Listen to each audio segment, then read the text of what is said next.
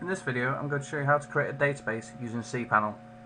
So to begin with you need to find the database section and click on the MySQL database wizard. Here you need to enter yourself a database name.